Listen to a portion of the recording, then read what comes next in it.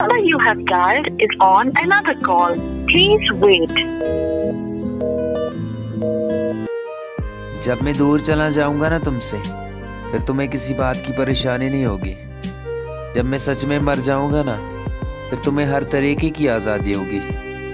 फिर तुम्हें इस रिश्ते में कभी घुटन महसूस नहीं होगी फिर मैं तुम्हें कभी रोक टोक नहीं करूँगा, और ना कभी तुम्हें बार बार कॉल मैसेज करके परेशान करूँगा